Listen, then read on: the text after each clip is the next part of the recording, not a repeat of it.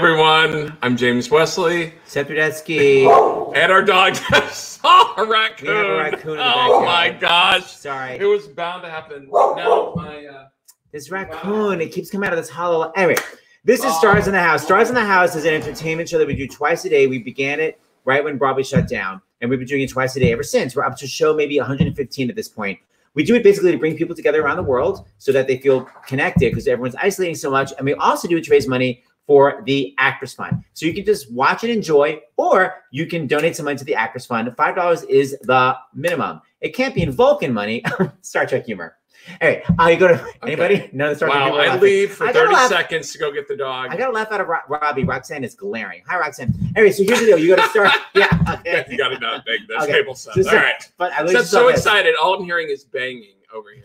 The point is, you go to starsinthehouse.com to donate. The money goes to the Actors Fund, and the Actors Fund is a misnomer. And the misnomer is a fancy word, meaning it's not just for actors. It is for what, James? It is for any professional in the performing arts. It is for people that are not just actors, but people that are costume designers, ushers, concessionaires, voice teachers, dance teachers, people that are all over the country. It is basically a human services organization that is there now for people in time of need, and which basically means everyone in the performing arts is out of work. Yeah. So, and here's a, a, a great letter I want to read. I know we have so many fans and new and new people that are watching tonight, but this letter I'm going to read to the Actors Fund This is is a from perfect, someone that got money. By the way, you go to the Actors perfect Fund, example. you say, I can't pay my health insurance, I can't pay my rent, I can't pay my electric bill. They say, How much is it? And they hand you the money. I mean, they're an amazing organization. Right. I've been around for my gosh, oh, 100 over 125 years. Oh my gosh. Okay. I just wanted to say thank you, thank you, thank you so much for relieving the stress that I had about being able to pay rent this month. The Actors Fund is a godsend. I'm so grateful. I really appreciate all of your help during these challenging times in the world, and I pray that all is well with you and all of your loved ones. Have a great weekend with best wishes for continued success. That's what we're talking about paying rent, paying health insurance premiums, literally paying for food, Groceries. utilities. We constantly keep hearing thank That's you for right. paying for my groceries. And by the way, the people that do the amazing makeup on all the Star Trek, all the crazy face stuff that people have to do, everyone is out of work. And people live check to check. Many people in the arts most to most people most people in the arts live check to check. Yeah. And those checks aren't coming. So Um, anyway, yeah. as soon as you make the donation Oh, at right. starsinthehouse.com, forward, you're going to get a receipt for the donation at starsinthehouse2020 at Gmail. And then one of these amazing Star Trek people will read it out loud. I already have donations already that Oh, I'm yeah. going to send. So some people who follow Stars in the House, they knew to do it in they advance. knew, they knew to do it in advance because before eight o'clock Eastern, we were already getting a lot of donation receipts emailed to us Yep. because they knew the trick They to wanted get their them, names to read get them in early, and they wanted their names read by a cast member Yes, of Star ma'am. Trek Voyager. Um, speaking of Star Trek Voyager, because that's all we're going to talk about today. Um, we there's actually I don't know how many of the cast members know this, but there's actually not surprisingly really Yeah. a college course being taught at DePaul University by Brian Maj, and the entire class is watching right now. It's part of their course work to watch the show, and um, we wanted to give a shout out to them um, for for watching. It's this course title. Um, maybe uh, Brian Maj will teach it again in the fall. Is called Star Trek Voyager: Ethics and the Enlightenment. That's the name of the course. And so all of the um, actually, let's see right here because we have a picture because they had their they had their course meet uh, today. Where is it? Oh, right here. There they all are. Uh, wow. That's the class. I don't know what happened. Uh, something happened to their hands, unfortunately. Uh, so they're so they're joining us. So and speaking of the money for the Actors Fund, we are now we have reached just our show alone. Now there's a lot of different sources of people giving to the Actors Fund, but for this but for this particular for show, this particular show, and where the give like 5 10 dollars. That's right. The average donation I'm going to guess is like 30 bucks. We've ra- we've raised on this show over $322,000. Yay, that's today's total. So hopefully we can bring it up with the Trek fans. Yes, Um, I have no doubt about so it. So I'm going to play the theme on the piano. but hold on, Seth. sued. Before we get before we do this, Yes. we have to re- we have to tell everyone not not everyone can be yes. on the screen at the same time. Yeah, so for, before you're panicking, you're like, oh my God, where is so and so? The second half of the show will have, we can only get five people on the screen at one time. because unlike maybe other reunions you've seen, which is fantastic, they're not live. We're- yeah, we're if you live. see all these different people and it's Zoom, this isn't Zoom. This is called StreamYard, which now enables us to be able to stream it out to Twitter and Facebook and YouTube, and for it to be seen by as many people as possible. And that way we can that way we can react to questions like as That's you actually right. ask them. Oh wow, I didn't even know there was an emoji for that. Look, how cool is that? of course, but we there can, we is. can react. So we can react. and let me tell you, we've live. got old school, but we've got a lot of questions that have come in on on Instagram and emails and all of that. So um, there we go. Oh look, Brian, um, right there, the teacher. Hello to my Oh, students. That's so kind. Hi. Yay! Yes. Um, okay. So we're gonna start bringing people on. All right. Let me make sure I've got the right order here. All right. So Seth is going to play. I'm not company. Here we go. The live musical accompaniment here. All right. First up, Garret Wang. Hi, Garret. Hey, how are you? Robbie McNeill. Hey, Robbie. Roxann Dawson. Hi, Roxann. Hi, Oh, Roxann. hi, Robbie. Beltran. I don't see Robert Beltran. But we're gonna. How about Bob Picardo? We're gonna bring you on right now, Bob. Bob Picardo Yes. There's and Kate Bob. Mulgrew. Hello, Okay. everybody. Mwah. Hi. Hi. Hi. Did that sound just like the full orchestra introduction of Voyager? Totally did, Seth. It was amazing. It, I couldn't tell the difference. I still got it. So first of all, is this one of those things where you guys are constantly having Zooms and chatting, or is this the first time we've seen each other in a while? we saw each other on that fatal boat. Most of you, I, I wasn't there, And we got off. We got Oh. off. Yes. The only one, sweetheart. I know. I missed the party, Seth. They had a they had a cruise in March, right before the the pandemic blew up. The first week of March, they were all on a cruise, but I couldn't go. So It was fun. I haven't seen. But I got I heard- terribly sick. Didn't you get sick? Anybody? Roxann, didn't you get sick? No. I was sitting very close to you for a very long time. while we were speaking. it didn't work, I guess. okay. Better now. Garret, I'm going to text you donations right now. So keep talking. Wait, Garret, wait. I'm going to I'm going to text you right now as we speak. Oh Okay. my gosh.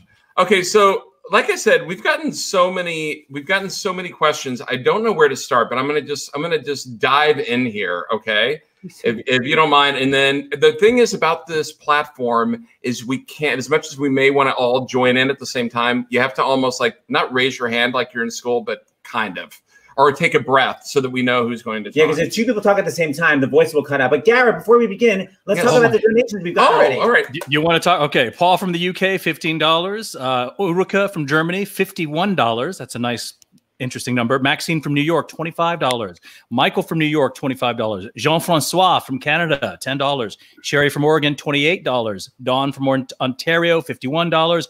Marina from New Jersey, one hundred and three dollars. Thank you, Marina. Jason and Etai from Pennsylvania, twenty-three dollars. Voyager superfans. There you go. Excellent. Yay. Yay. Well, we do have people watching all over the world. So, Kate, I'm gonna. The first question is gonna be for you. It's from Steve in Australia, and he says, "When I first saw Voyager and a female captain, I was absolutely hmm. hooked the moment it started, and it was about time. What did it feel like being the first woman captain?" It was terrific. It was overwhelming. It was absolutely overwhelming. I mean, I was really shot out of a cannon. As you know, I was not the first choice. Geneviève Bujold played it for about two seconds, and then she left because it was, uh, uh, and she very bravely left. I've always been grateful to her for that. And I had about four days to collect myself, and then I started on Monday morning. So uh, it it was uh, it was a, a formidable undertaking. But once I got my sea legs, if you'll pardon the expression, uh, it was great. It was Your just great. trick legs. yeah, exactly. Were you a Star Trek super fan beforehand? I was a non-fan. Never watched science fiction. Never read science fiction. Didn't know anything about science fiction. In fact, I met Patrick Stewart at a wedding reception. He won't recall this because it was low so many years ago. But I said, "Why is everybody making such a big deal about Patrick Stewart? Who's Patrick Stewart? Oh, that's the captain. He's the captain of Next Generation. He's the captain of the what? Of the what? Yes. And I said, I don't have no idea what you're talking about. You may as well be speaking Greek.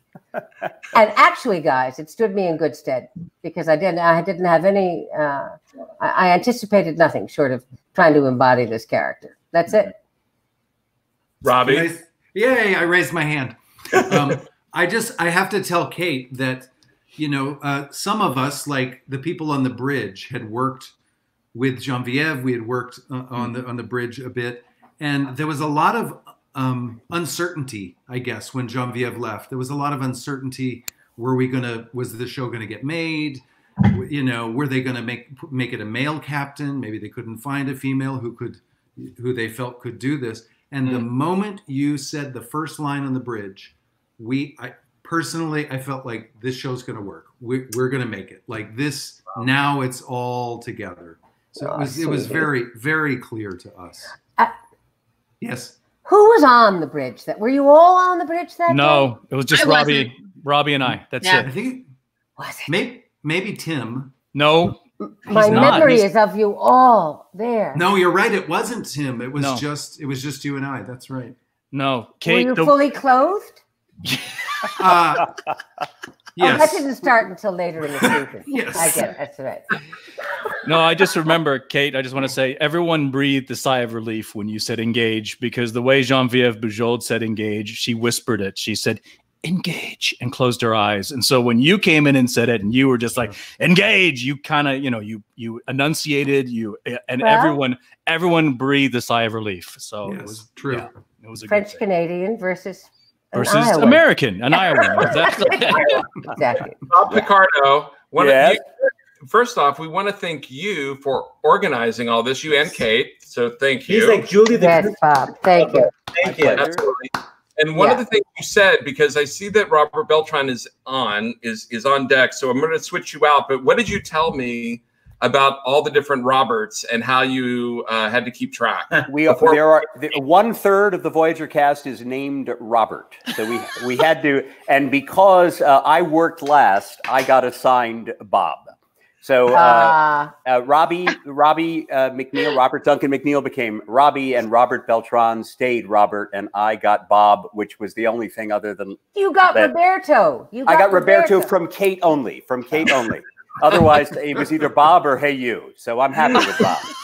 But I'll come back after Robert uh, Yeah. comes. I'll see you guys later. All right. So I'm going to switch out a Bob Can't wait. for a Bye bye, Rob- Roxann. Bye, Bob. Bye Bye, bye. Bobby P. and we're going to put on. Oh, sorry, Rob. Or- That's- okay. Hold on. We're going to put on Robert. Robert. Oh, Hello, Robert. There he is. Commander. Who's the know. Chakotay fan that uh, worked out this sequence of uh, entrances? And I'm, I'm glad I'm one of your favorites. How much time do we have left? How are you? Hi, everybody. How are you? You're looking well. Oh my sweetheart. goodness. You look great. Thank you. Thank you. It's good to see all of you. Where you. are you, Robert? Where are you? I, I'm at my house. I, I'm in the dining room where there's decent light. Mhm. Um, and um, Robert, my it looks dog- like you and I. You and I. Nice. my little Nice touch. my little Maltese that my daughter begged and begged for. How is your daughter? She's great, thank you. Good. My dog is scared. She doesn't want to leave my side because uh, they left, and when when they leave, she's afraid that I'm going to leave too. So she's All right. Poor Okay. little Girl. okay. Okay, Coco, everything's good. Get out of here before I. We have a really fun general question. Basically, what did you like most about your character on Voyager? What did you like least about your character on Voyager? Roxann, you go first. I can do. Oh, do I have to raise my hand? Oh, No, you No. don't have to. You're a good student, Roxann. Well, I can tell you least. Least is the makeup, okay, which was a, a two and a half hour to put on and 45 minute removal. So that was definitely my least favorite thing about it. And uh, my favorite thing about it is all of these people, which is like really cool. And the fact that we are still even talking to each other 25 years later is kind of amazing. So Yeah. uh, no, it's it it's really it was such an extraordinary experience. I entered Star Trek. Uh, I just got married. I left Star Trek with two kids, and I still had my husband, and I started directing. So it was like a well major. done, you. Well done, you. Yes, great. Robbie, what about you? What did you love most? What did you like- Excuse me. What did I love? Um, what I what I hated most was I think um, Garret Garret and I are doing a podcast and we started rewatching the show recently. We started rewatching from the first season, Oh. and what what I realized was I really hated the way that character started. He was kind of a jerk. He was like there was so many the list of unlikable qualities about him. He was supposed to be this rebel, but he really was the more I look at it, I was like, "Oh, what a horrible person." But um but what I love the most about my character was how he changed. And by the end of the series, I think he really um he really evolved into a very different person and it Because was, it was Roxann. all because of Roxann. All Oh, because because of of Thank- Roxann. yes. I don't think you were a jerk in the beginning. Yeah, a little bit sometimes. You were a little, you know, slightly arrogant, but you were. Yes. Anyway, Robbie McNeill was always hiding that book. Weren't you always hiding? I that was book I was behind always reading. console? You know, was, Seth, I I- adored. Yeah. I I used to bring a book on the on the bridge and I would read. I would just read, you know, voraciously. And so sometimes I'd get lost in a book and Kate would have to wake me up and You mean Robbie? Robbie, the actor, was reading a book all the time on the set. yeah. Yeah. Robbie McNeill, Me. the pilot. The pilot. I thought acting. I thought acting is listening. or or reading or studying. Acting is studying. I thought it was a fascinating tool. A fascinating acting tool. Yes. Thank you. Was it like I, Daniel? Uh, I, I always like to have a little business, you know. So I thought reading was like some, The some was like a prop. right. Uh huh. All right, Garret. Yeah. What about you? What did you like the most? What did you like the least? I'll start with the least. Uh, least favorite would have to be the very tight and hot uniforms that we had to wear. They um, they were made to fit perfectly when you're standing up. They had these little stirrups at the bottom, but when you're sitting down on a chair, um, it pulled in all the wrong places. so that's my least favorite. My most favorite is probably going to have to be a tie between the relationships I develop with my um, fellow actors that you see on this screen that you're going to see later, um, and also to be part of a show that over the years I've been at different conventions where people have come up to me and said, um, I, I was in a horrible place in my life, or maybe they were in a huge accident or something, and um, they were either suicidal or had a, a prognosis where they weren't going to survive. But watching Star Trek save their life. So that is probably what I'm most proud of, um, being part of something that has saved people's lives. So Wow, that's beautiful. Wow. Yeah. Uh, what about you? Um, full Robert name. Uh, yeah, my my least well, my my favorite thing was uh, anytime I got to say Akoochimoya, I was like over the top happy about that. Just wonderful. Uh, my least favorite thing. How are you, Roxann? I haven't seen you in so long. Um, I know. Robbie, good to see you, man. Kate, Good to I was see you. just talking to Garret What- the other day, yesterday actually. yeah, Um, my least favorite, oh gosh, um, the long hours. I think. Mm. I don't think Robbie noticed him because he was in the middle of reading a Danielle Steel book. But Oh no, no, never Danielle Steel. No, no. France. Get back to me. Kate Mulgrew, what was your least and your most favorite? I think the most favorite is is, is Oh no! Here we go. there he goes. What is it? Sleep when the dead when, uh, sleep when I'm dead. Is that what it says? sleep when I'm Yeah. dead. Good man. This is. Warren Warren Zevon biography. I A haven't read it yet. a born bibliophile. Sorry, go ahead. right.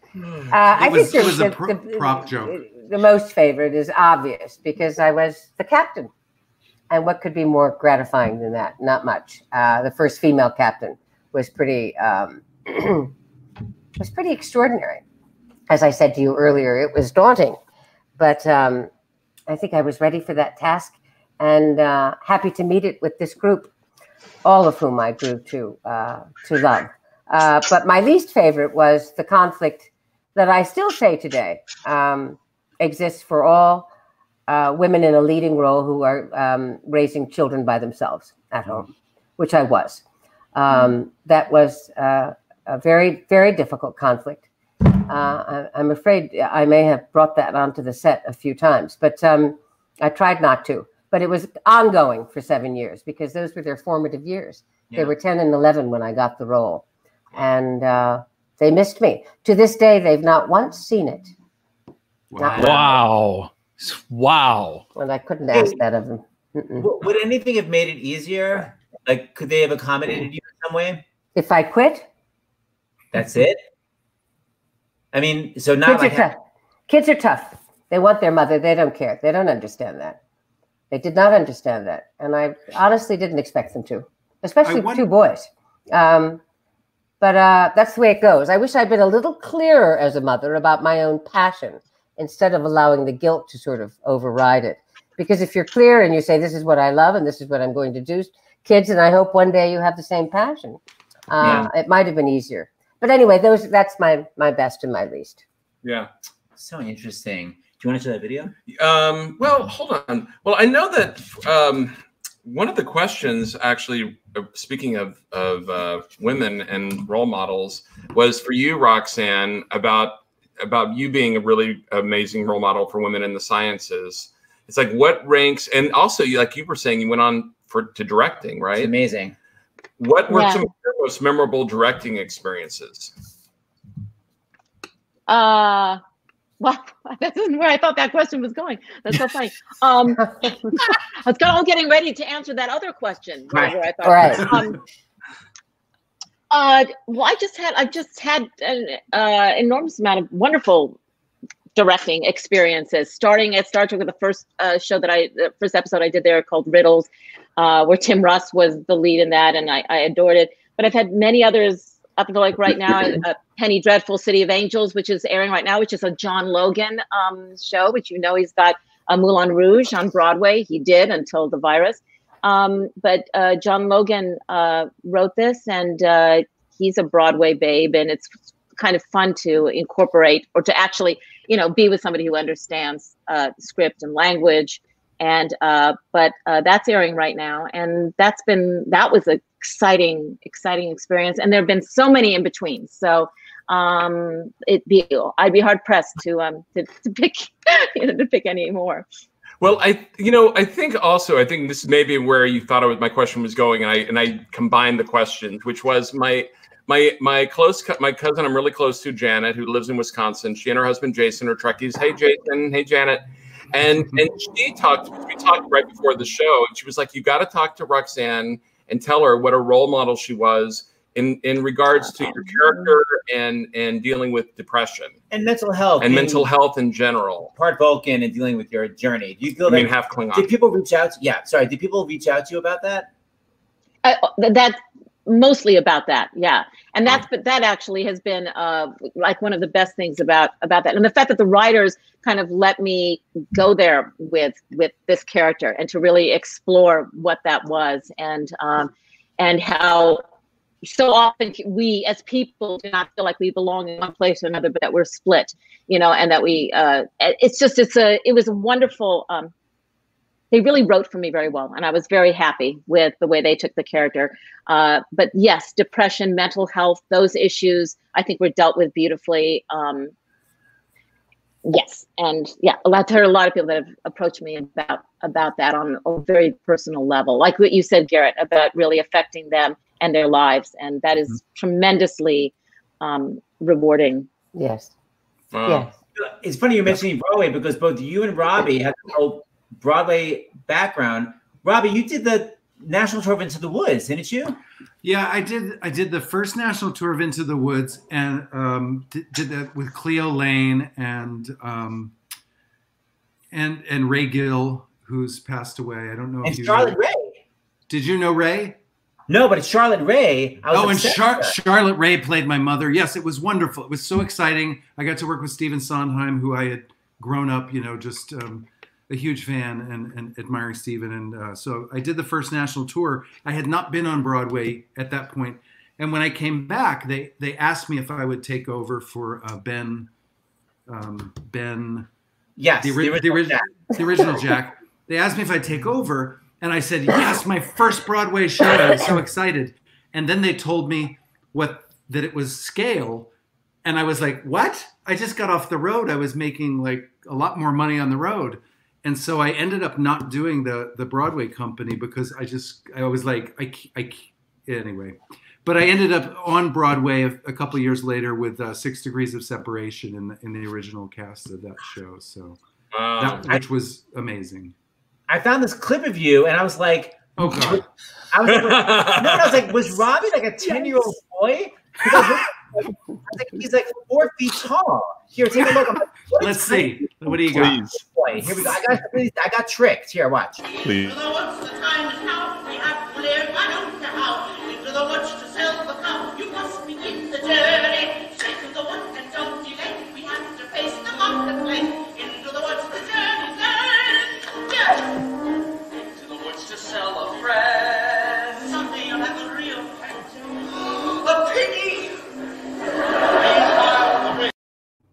Oh my God! Oh, oh my nothing God! has. Nothing Oh my god! Nothing has changed. so awesome.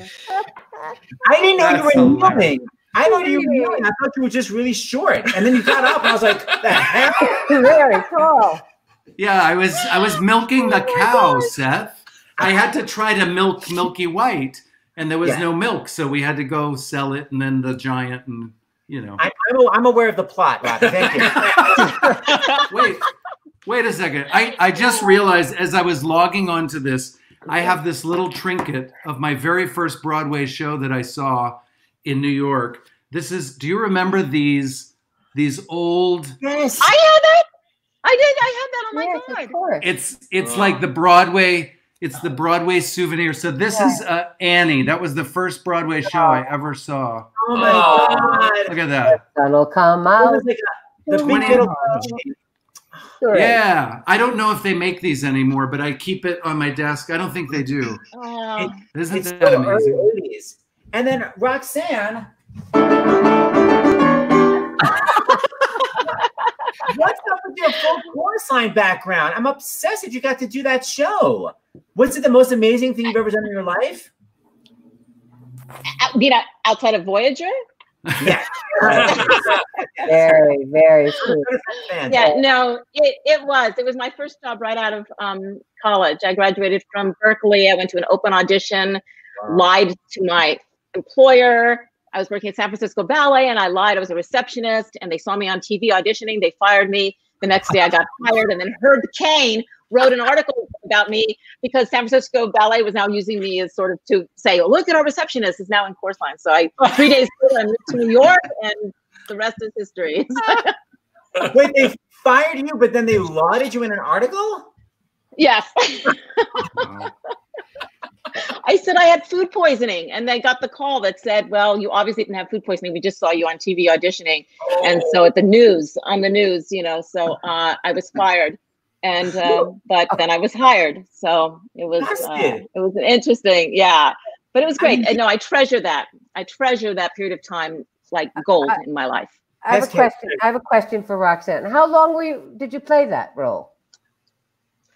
I did it in the early 80s. I first started on the road and then took over Diana on Broadway for quite a few years. And I left and did theater, came back, and then I went back to close the mm. show in mm. 1990, uh, April 28th, 1990. I was the last uh, Morales. So You're the last I did that. Wow. Yeah. And that's she Yeah. the last Morales, meaning that she was featured on the Phil Donahue show, sounding amazing. And I think you sounded something like this. Kiss today goodbye. The sweetness and the sorrow. Wish me luck the same to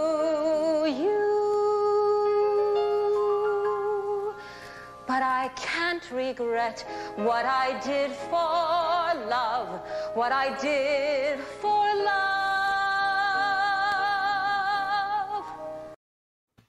Wow. That gave me goosebumps. Oh my god. Oh my God. Play it on, play it. Oh, it's great. Roxann, that's so crazy. Literally five year only it was only five years before you did Voyager. It's Wow. nuts. Is that right? Yeah. Uh, Was it? Oh, I don't know. Well, I, I may have lied about yeah. my age on one of those things. yeah, you may have. Uh-huh. Okay. oh, that was a flash from the past. Oh my was god! great. So exciting. All right, we got our second half, but hang out because maybe we could bring you guys in and out. You guys are Okay, so we'll hang. It's here. you guys are so fun. I want you to reboot and write roles for some middle-aged gay people. All right, um, we're available. Okay, so we're gonna bring you back in a moment. So Kay came back, Yeah, we're bringing, Pan, bringing back. Jack from Into the Woods, Bye, lovely Garret. Garret. Okay, and now we have our medical break. Actually, we should bring on and his, one of his good friends. We have That's Dr. Jon right. LaPook and his good friend Bob Picardo. Oh, take off your you're on mute, Bob. Bob, how are you? I am well, Doctor. It's a pleasure to see you again. For the Star Trek fans who do not know, Dr. Jon LaPook and I were classmates at Yale, even though he looks far younger and is a silver fox. we, we were at Yale the same time, and for a brief period of time, we were both biology majors. Obviously, that panned out for you. And we were both in a singing group called the SOBs, the Society of Orpheus and Bacchus. And that is uh, right. Bob had an amazing voice back then, and still, I, I remember your opera uh, for uh, when, when something died in in the astral in the in the atmosphere. Uh, por, por, I want to say uh, uh, Puccini could, could Oh yes, I have. I sang opera on Voyager about six different episodes, so I don't Right. know exactly which but there one was you're one thing that you to. did when you there was some star that burned out and you were saying goodbye to it. Oh gosh, yes, of course. Uh, this this was just on my own when the uh, the uh, um, NASA's Cassini mission Cassini, close ended, to and the spacecraft was, was yes, that is the most viewed performance I've ever done on the internet.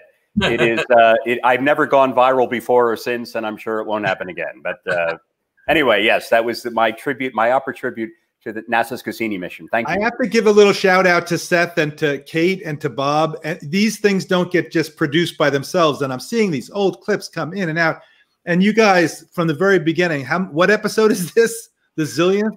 I think Every- 115, 116, something like Every day you're doing this, and you're not doing it, you know, you're doing it for for love, what you did for love. Yeah, So, no, I can't. I couldn't agree more. Those clips that you got of my uh, my colleagues, Robert Duncan McNeill and Roxann, were just superb, and Ah, uh, and Um, and I'm sure the Star Trek fans are completely uh, enamored with the fact that you guys went to all that effort to dig that up because that is your, you know, that's your turf, that's your area of expertise, and and Aw. and to do that, I, I'm sure meant a lot to the hardcore Star Trek fan. Well, they're so talented, those guys. And by the way, Bob, you were with Jon 35 years ago today because hello, happy anniversary, Johnny and Kate. It's your wedding Oh my God! I did. Yep. Yes, I was at your wedding. Congratulations! Yes. What a what a memorable event that was, and congratulations to your dear wife. Yeah, it's like we're we're you know, the greatest miracle. You you meet the right person, and then another few miracles with your kids, Yeah. and a few more miracles with your friends. And then you and you keep your hair. A few more miracles like that. We want to show this great clip that you and Jon did on CBS. This is for all the Star Trek, all the Star Trek fans, because turns out basically everything that's happened on Star Trek has basically happened in real life. So here's a clip all about that. This is Dr. Jon LaPook and Bob's on this too. Star Trek predicted the way you would scan someone is through a non invasive way without really touching them. Star Trek's tricorder? Today we have CT scan, MRI, and ultrasound. What else has come true? Where Captain Kirk would talk to someone on the flat screen TV, I can talk to a patient now, see their image, see their scans remotely. Dr. McCoy's hypospray helped inspire needle-free injectors. The visor that let Geordi see? We now have glasses that beam light to a chip implanted in the retina. What about sickbay? They'd get on the bed, and all of a sudden, all the monitors would go on like the monitors we have here. And that has come true. We have wireless telemetry. We got a sneak preview into modern medicine from this Starship sickbay. But at the end of the day, Star Trek was about a lot more than just fancy gadgets. It foresaw a world of inclusiveness with doctors of color, male and female, and in the new series, Star Trek Discovery, a physician who is openly gay. What were we doing in a nebula? No, wait, don't tell me. We consulted a specialist in Star Trek style medicine. Bob Picardo played the emergency medical hologram on the Voyager series. And then I would appear and I would say, Please state the nature of the medical emergency. So, do you think that eventually in the future, a computer algorithm could entirely replace a physician? Ultimately, that artificial intelligence physician will be created from the personal experiences of a large group of doctors. So, yes, I believe the day will come when you will be obsolete. Until we reach that final frontier, Computer, end program. I remain Dr. Jon LaPook, CBS News, New York. You know what I love? What I loved about that is it made the turn. There were the gadgets, the gizmos, but really, I think what the fans will agree, what set uh, Star Trek apart from everything else, and this was Gene Roddenberry and the other people, was the inclusiveness. The fact that you're seeing, you know, a, a, everything from a, a, gay doctor to every color under the sun to you name it. Uh, they had episodes you know, where it was crazy that one person was half white and half black and hated the other person who was half white and half black the other way. And themes of inclusiveness. I, I don't remember. I was, you know, I like Twilight Zone. I like a lot of those shows, but this really just nailed that whole theme. And I think that's what set it apart. Uh, well said. I could not agree more with the doctor's, um, you know, uh, prognosis. Diagnosis. diagnosis. Sorry. Diagnosis. Your pro- prognosis. I'm I'm I'm still weighing on. we, got, we got so many Trekkie fans watching, but I just want to say, since we have such a big audience, Dr. LaPook, anything you want to say about wearing masks? Should we stop because the virus has really gone down a lot? What do you want to say about that to no, the fans? No, we just keep saying, folks, wear the mask. You know, we still have a lot of states where it's increasing. You have to do the social distancing. You have to wear the mask. You have to care about the next person. Uh, and I know it's hard. We're getting mixed signals from everywhere, but when you go outside, wear that mask if you're going to be around anybody anywhere close. Uh, just keep following. I think I'm going to have something about it this Sunday on CBS Sunday morning. We're thinking about doing another piece about it. So yes, please. All right. Well, thank you. Always Thanks, great having you, Dr. Dr. Jon LaPook. Peace out. We're going to see you soon. I'm sure by Keep minutes. up. I love Yes. you. Bye. So he's giving the okay. Hold on, he's giving the finger there. I given the finger. giving me the finger. He's giving, I know. Sorry. Jeez, stop. Oh that my is known as the Vulcan salute. Yeah. So rude on my part. Okay. Okay, now part two. Yes.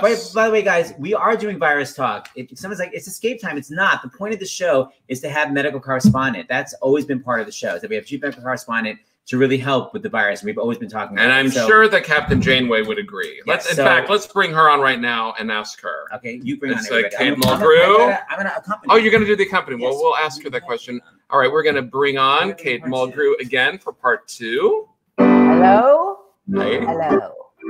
And we have Bob Picardo. We're going to bring on Ethan Phillips. Where's Ethan? Hi, Ethan. Hi, Hey, guys. sweetheart. How are you?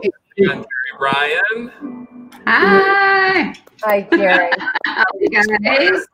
So got it. Kim. Hey. Hi. Hello, How are you guys?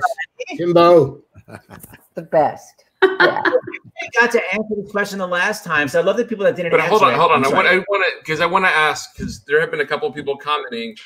Captain Jane, what would Captain Janeway say Oh, yeah. if this were if this were going on right now? If this far as- pandemic were going on right now, I would certainly ab- abide by what science dictates Thank you. to the rule. I mean, to the letter. That would be wearing the mask at all times, wearing the gloves when you should, keeping the social distance of at least six feet, and staying in as much as you possibly can. I'm in Virginia now, and I see that it's every other person. It's an absolute 50 50 thing. I said to a guy in the elevator, nice looking, tall guy, about 40 years old, I said, Why are you not wearing your mask and your gloves? We're within two feet of each other. He said, You sound like a Democrat. I said, Great, here's my floor. I'm out.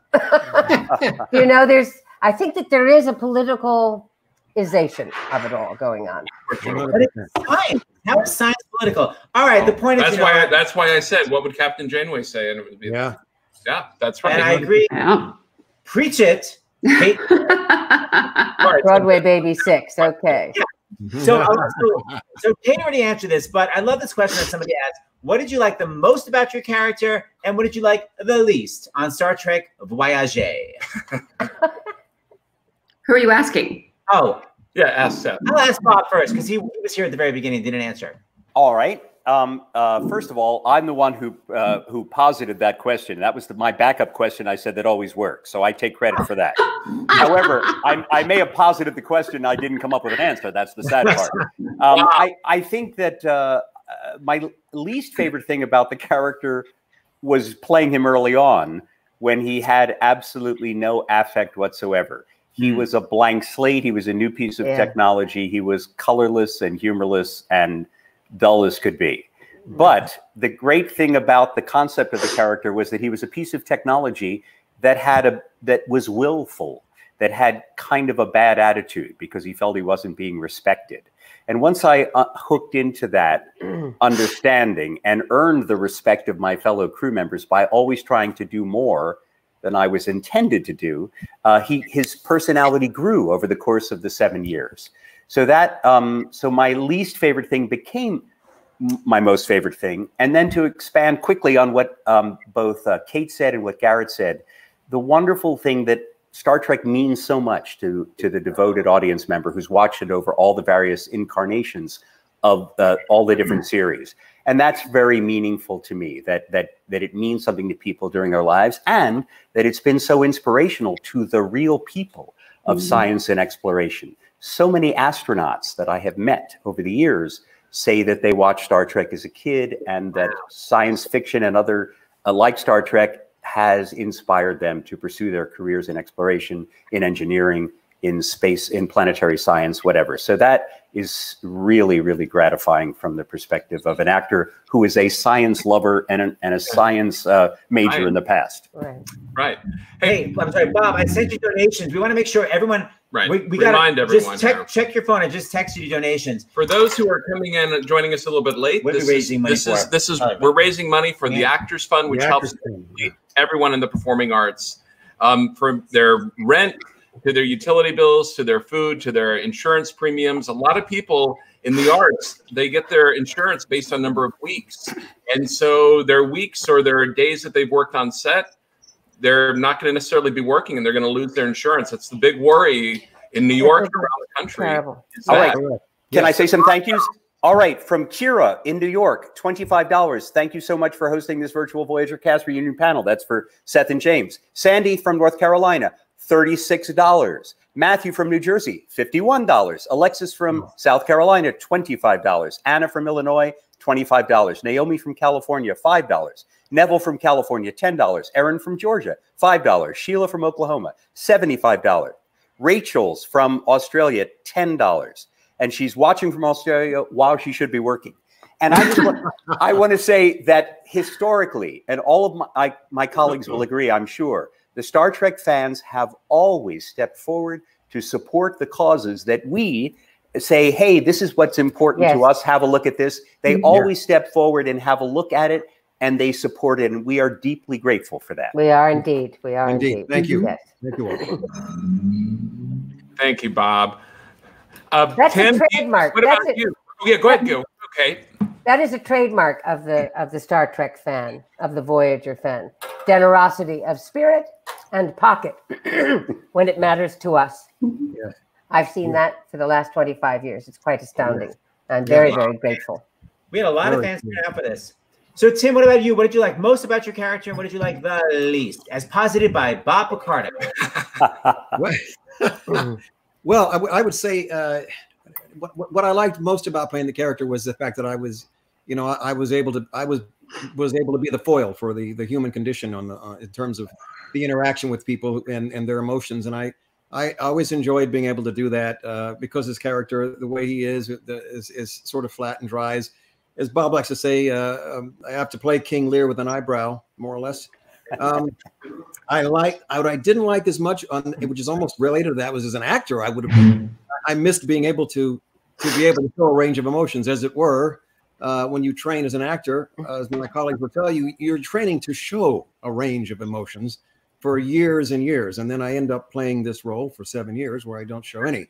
So it was nice to get out of the box once in a while, and uh, that was the one thing that I- that I that I uh, you know I, I that I I could say I didn't like anything at all. It was just that. Doesn't sound too bad. I'd love to be emotional as Being Jewish, I have too many emotions. Jeri, what about you, dear? Um, the corset wasn't an enormous, a lot of fun. Um, not being able to go to the bathroom without the entire crew knowing it and having a production shut down, that was a bit of a, you know downside. God, Um, how long did it take for you to gear up for the ba- to gear out for the bathroom? if I had to go, wh- which everyone was on the radio chair, is going 10 1, that's 20. Because it was, you know, I had to have somebody dress me and undress me. And it was, it was a 20 minute thing to get me undressed, go to the bathroom, get dressed, get back to set. It was a Did you thing. think- You never thought of having like a special Star Trek diaper? I mean, It's a little tight. I don't know if you noticed that. Wasn't a lot of room. for It my- shows all the fancy lines. Yeah, yeah, yeah. I actually got so sick my first season on the show because I felt so bad that it was a production shutdown. So I would just not drink oh. All day. And I got really ill. It's not a good thing to do. I got dehydrated. Wow. Yeah. Uh, my favorite thing of the character, I mean, it was a she was a she was a gift to play as an actor and continues to be now um, on Picard. She's there was so much growth because she started out not even human. So um so that was wonderful. So it's and almost kind of the sorry, what? Say it's almost the opposite of Tim, where you had such a range that you got to play, whereas Tim had to be blank. She was very reserved and sort of Vulcan-esque in a lot of, especially in the beginning when she didn't, she wasn't comfortable expressing emotion. She had never experienced it as a Borg. She didn't understand it. She didn't, wasn't comfortable with it. So um, Seven and Tuvok kind of bonded over that kind of stuff very similarly. I remember Tim and I being concerned and we would have scenes together because our vocal inflections were kind of identical. and it was like, oh, this is going to be a really, really flippin' exciting scene. Great. But actually, they ended up being fun characters to sort of play against. Yeah. And Ethan, what about you? What'd you like most? What'd you like the least? I just I was laughing because of uh, Jeri talking about how tight her costume was. You know that costume was a derma regenerating suit. It was to make her skin uh, heal. And I always used to say to her, if she remembers, I say, Jeri, let's see if it worked. Oh, you little Remember that? devil. You little devil. um, uh, I guess what I least liked about my character was the makeup, which was uh, difficult. But um, I liked that he had a big heart, and uh, he wore it on his sleeve, and that's uh, rare. And uh, I, I embraced that, and I thought that was kind of lovely. And um, I liked Neelix a lot. Thought he was a good fella. Can I say something about Ethan? This Yeah. man, his makeup was insane. Like, I think there was what your bottom lip exposed. That's it. His nose is covered. His chin is covered. His My tongue was entire face. actually not covered. The, well, your tongue was free. The you know the big content. It was a miserable, miserable head of makeup to be wearing, and he never complained. I was there for four years. I never heard this man complain. I would like to not only attest to that, but to go you one more. In the seven years I worked with this man, John Ethan Phillips, he was the essence of equilibrium and grace. Mm. Yes. You were the soul for me. Yeah. Thank you, sweetheart. Thank you very much. I, I think he was a huge pain in the ass. So I Yeah, um, I second that. I second I also pain in the resent ass. the fact, I resent the fact that he that he looks like me too. That bugs me. You know, if you if you, if you leave me in, in the dryer for five extra minutes, he looks exactly like that. All right, speaking of, we have a question for you. This is from Chris Lalonda. Dear Mr. Picardo, I'm a huge fan. I was wondering, since the last episode was the time traveling episode, was your name assumed to be Joe, like in the finale, or was this never meant to be? What name do you suggest or like the character? Well, uh, I, I never suggested that name. Um, I think the joke over the seven years was that my character, once given by his captain the freedom to select his name, he couldn't make up his mind. So the notion that he was an indecisive computer program was supposed to be funny, I think, to people in technology. Um, the fact that they named me Joe was a personal joke to me because every male in my family, other than me, was named Joe. All of my uncles, my father, my brother, Joe is the most popular name in my family. So I Did took they know as- that? Yep. No, they did not know that, but it but it, it was uh, it tickled me enormously. Wow. Oh my gosh! I just want to show you that people are watching all over the world. I love this comment. Um, This is from Slavin watching Voyager while in lockdown in Ireland. Yeah, it's Ireland. Yeah, we'll be watching. Hey, yes. Yeah, people are just watching So, everywhere. hey Jen, th- uh, I mean Jeri, there's a question from Jen, and she said, "How has it been to revisit your Seven of Nine character in Star Star Trek Picard?" it's it's been amazing. It's not certainly not something that I ever thought was going to be happening by any stretch of the imagination. Um, but I love how they've written her. I love how she's developed. I love. I mean, she's been through a lot of crap and she keeps going. And I love her resiliency and her guts. And I love that she's trying and struggling. And uh, I just think she's awesome. She's may really ask, fun to play. May I ask Jeri a question? yeah. I don't Kate. know. I don't know if you have the answer to it, but what's what's the plan now going forward? Nobody knows We're anything. Waiting to see. I mean, season two was picked up before season one aired, and Yeah. we're just in a holding pattern. If we we were originally supposed to start shooting the middle of June, but they would have had to have started building the sets um, the beginning of May to do that, which we can't do. So we're just waiting. Waiting. I see. They're hoping that we can start shooting in the fall. I don't. I don't know. You know, we always when we talk to sitcom people, we always kind of know the way sitcoms are done. But were you like, would you have read throughs at the beginning of the week, like sit around and read the script? Or would you just show up for your scenes? Like, what was the typical week for the In Voyager? Voyager? On Voyager? We never had table reads. We never right? had table No. reads. Ever. Some- Never. Sometimes, sometimes you didn't have a script. Sorry. Sometimes, frequently. Wait a minute, how is that possible? Everything is so meticulously connected. What you mean? When would you get the script at places? Well, a no. couple of, No, couple of no. shows we didn't even have a cameraman. I'll script, the, script was, the script would be under is under might not have been under uh, a full revise yet. It might we might not have gotten the actual like the final part of the last act or something because they were working on it to make sure it was tight. I mean, they're not going to put anything on the screen that's That didn't happen very often, as I recall. Did it? No. I think it was It maybe was We originally got pages like one- rewrites for the was- scenes that day, that morning. Yeah, one season I think was a little bit slow, and the rest of them were fine. But but but we don't typically on on uh, hour long shows. There's Hmm. been a couple that I've worked on that they had a table read during a lunch hour one of the days, but we never had one ever had a table read. Well, did we ever get an hour long lunch hour? Not barely that. Yeah. Yeah, I don't think so. Oh, Harry wasn't eating, so it didn't matter, or drinking. Um, let me ask you, you got to just prevent all digestion. Who was sort of the biggest cut up on this set? Was there someone that was always cracking jokes, like ripping off their Oh my god. That's All Philip guys. Phillips. Yeah, Well, probably think- Phillips. We all, Philip. uh, everybody had a sense of humor. I think I, I may have been a little over the top, but uh, A little. Also, Yeah, Robert Bel- Robert Beltran is the most amazing mimic. He does incredible impressions of many, many actors. So he Right. was And when- he was and- constantly hilarious. And Roberto, when did that start? When did that nonsense usually really get going? Huh? Uh, and, and at yeah. whose expense did that get going? Let's, Well- let's just go back in time. You're a Roman Catholic. You It- cannot it- lie. When did that usually start? Well, it usually ha- I don't understand how it has to do with my Catholicism, but I won't lie.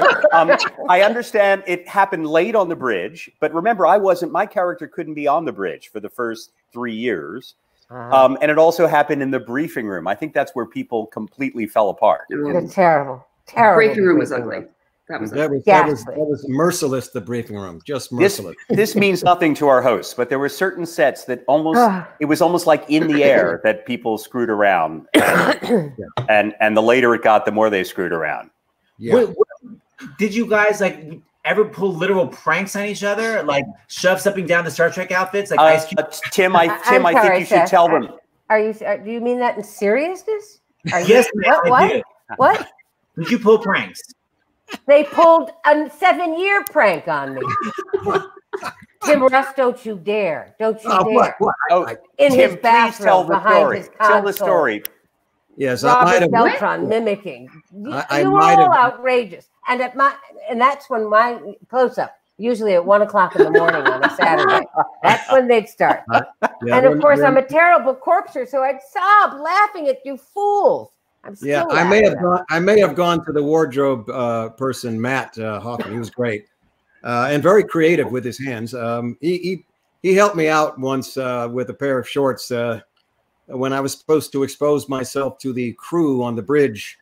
Um, they were on camera and I was off camera, of course, and he allowed he uh, he allowed me to to look more endowed than I would normally look, and and I exposed myself to them, and I got him to I got him to crack after about five seconds, and I think they used at least the first three seconds of that shot.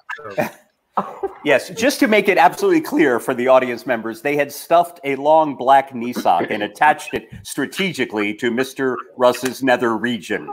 So when he took his robe off, it unfolded. Just, just to make that perfectly clear. Now, very, very few people do not know that the costume people modeled that on me. Tim, I don't even think you knew that. But I got to approve it, John Ethan. Oh, I approved that costume. Seth and James have nothing more to ask us. Oh my God. I'm going to stop the show right there. They're just horrified. They're just in shock. I want to show Bob from his from back in the day. So this oh. So this is Bob. So Bob, you began as a Broadway actor. So many Broadway credits here. Yeah, at so House. and you were on this commercial oh. that I spent my entire childhood watching. For Gemini, you were playing like a 21 year old, like a Harvard graduate. Yeah, Bob. When when when you sent the when you sent the uh, you said you were in Gemini. I, you, I think you sent the email like at one o'clock in the morning, like And you were last from the commercial, He was was going like- crazy. He couldn't believe it. He's from grew up with Texas, it. I so grew he didn't know. Yeah. It was the first major Broadway commercial. Danny Aiello, who played my father in the show, narrates it. I play the lead in the play if you come to see it, and I'm the only person who doesn't speak in the commercial. But uh, I was 23 years old at the time, playing 21, so I was playing younger. You're standing. You're standing at the end of the commercial with Danny Aiello, right? Could Yep, that's me. That's me with my hands in my birthday cake, being petulant. Yes. God bless you. everybody watch this commercial. We, everyone in New York knows this commercial. I'm invited to my son's 21st birthday party. Good food, good people. Our neighbor, Bonnie. Am I weird? Nah. A genius, Sunhurst. Take human bites. My honey, Lucille. I'm not hungry. I'll just pick. My son's friend from Harvard. And his lovely I'm on to you. Happy birthday. And a guest of honor, my Ivy League son. It's going to be some party. Gemini on Broadway at the Little Theater. It's a smash. Wow. Gemini is the fourth longest running uh, non musical in the history of Broadway. It was a and no one has ever heard of it anymore. But thank you Oh. for that. Broadway people have. God, Mm-hmm. huge hit. Okay, we have so many more specific questions, but we also have to wrap up because wait, I want to make sure I answer. I ask all the Oh specific yes, questions. oh, right. Hold. So hold on here. You've gotten so many fan questions. I feel completely overwhelmed. oh, this I love this. Are there any rituals or I? This is from Nick Blackmore. Are there any rituals? Rocket. That's my ride. That's my window. Sorry, guys. That's Virginia. What's the Any question? rituals or items that you carry that you carry on you or that you do before performing? Oh no, no items. Uh, Oh, like a lucky thing? Or like a ritual, like I always go over my lines, or like I always kiss this thing, or we always shake hands. Hmm, no, no We're ritual. really boring. You know, the Yeah, whole yeah, thing, sorry. Seth and James, the Yes. whole thing of acting is nothing but superstition. That's why it's so magical. That's why it's so edgy. That's why it's so great. And that's why the Actors Fund is so crucial. And That's everybody donating tonight. That's right. It, That's it we've got to carry on, guys, Yeah. so that we can have our superstitions, share them with you as an audience, and this is part of the the marvel of life and the greatness. So- Thanks for having us. Oh, thank you, Kate. Kate, you're amazing. Jeri Ryan, I have a question for you. Mm-hmm. How long did it take to go to the bath? No, just kidding. Um, what was it like transitioning through personalities? Your performance in that episode was phenomenal. Oh, thank you. Um, that was really fun. I mean, that was a really fun episode because, as Tim said, you know, when you're kind of playing a character that all the emotions are, well, he didn't have them, but mine were just suppressed. It was really fun to have the episodes where you got to sort of break out and do all kinds of things, and that was. Um, I think I was a Ferengi and a Klingon and a little girl and a, like all different kinds of things. It was really fun. I mean, it was it was a it was a really fun challenge. That that question, by the way, is from Molly Nelson. We have a, a question for Kate from John. is there anything about Captain Janeway that you would do differently looking back at the series? Oh, no question. a lot. I mean, it, it, it's it's too great uh, to to to explore right now. Except to say that I would certainly go back and redo the first season and endow that language, which was diabolically difficult, with real meaning.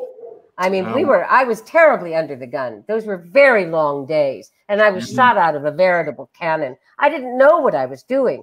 And had I had the mm, license, or had I had the guts to just sort of uh, endow her more completely with knowledge of what she was saying, I would have, I think, felt steadier on my feet. But it happened quickly. It happened quickly enough. Yes, it is. Wow. So you guys, you fully memorized scripts. You didn't have like Saturday Night Live people with cue cards over to the side or anything, right? Absolutely not. Are you kidding? No, no. Do you guys remember like the hardest line you had to say where it was like really technical and annoying? How about a whole page or two pages of a monologue where you carry the camera from one person to the next? And at the very end, you put your fingers on the window and they call cut and they say, Kate, there's no window in space. You can't put your fingers there. Do you, you remember that, you guys, in the briefing room? Tim? I remember that. Oh my God. Agony. Mm. Yeah. Agony. Or or the candle, the candle in the background is out of focus. We got to do that all over Yeah, again. yeah, yeah, yeah. Hair in the Gate. Remember Hair in the Gate? Hair in the gate. yeah. Yes. Hair in the gate. hairs in the Ooh, those are fun. Hey Bob, I sent you one more set of donations, and then we have to sort of do our little finale. We have to, you guys. There's so much to talk about. We have to have you on for a second Voyager reunion. All right, Bob. Bob, read me the donations. Oh yes, I'm sorry. Uh, you didn't tell me in enough time. All right, somebody else ask a question and give me 10 seconds. All right, uh, here we go.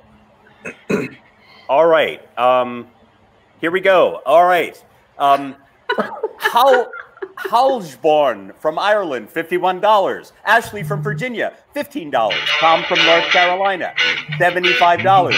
Roxanne from California, fifty-one dollars. Ian, Whoa. $25. He's the biggest Voyager fan, according to Ian. Clara from California, $10. Tave from Washington, $10. Michael from Massachusetts, $50. Mike and Jerry in Pittsburgh, $25. Andrew from California, $25. $25. So thank you all. You Thank guys, you guys. are absolutely Yay. great. And thanks Nice. to my colleagues who jumped on this and said they wanted to do it in a second because they know it's important. The Actors Fund since 1872 has been Hey. taking part uh, taking care of people of all stripes in the performing arts and the supporting businesses around the uh, the performing arts. So That's right. so thank you, thank you, thank you. Thank Thank you. you for organizing it. Thank you, Thank you, Stephanie Yes. Thank you. Thank you Thank guys. you, you guys. It's all So good. to see you. I Bye. begged for Kate. some I love you. Don't say Bye-bye. goodbye just yet. Don't say goodbye. Especially don't. you, Tim. Oh, oh I God. begged for music, and Tim told me that he was in.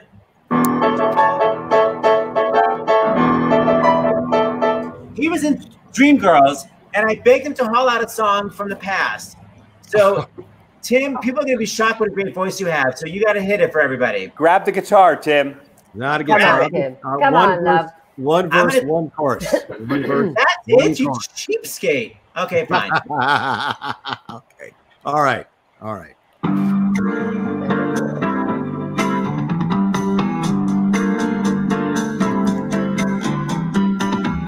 Join us, leave your fields to flower. Join us, leave your cheese to sour. Join us, come and waste an hour or two. Doodly doo doo, journey, journey to a spot exciting, mystic and exotic. Journey through our anecdotic revue. We got magic to do just for you. We got miracle plays to play. We got parts to perform, hearts to wrong, kings and things to take by storm as we go along our way.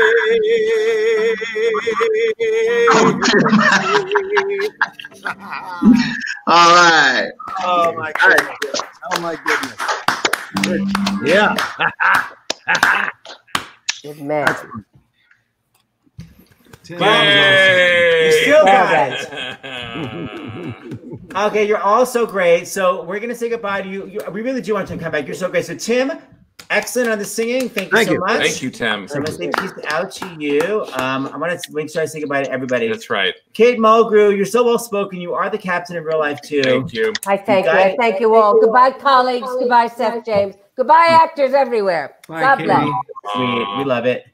Garret, I love you. Look like you're in a, a studio from 1920s that was modernized to the 2000s. Like it's the coolest. With like, what's happening? Where are you? It's true. In the word, in the words of George Takei, oh my! Um, it's just a green screen, just a green screen behind me. That's all. So, you got it going on. thank you so much. I had a blast. Roxann Dawson, do you still remember your lyrics?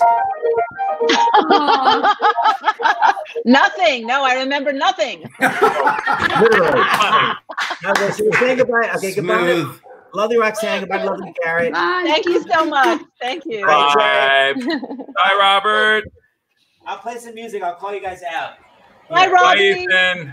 Bye bye. Roxann. Bye bye, Roxann. Ethan. Bye bye, guys. Bye, guys. Bye, Roxann. Roxy. Bye, Bye Tim. bye. Thank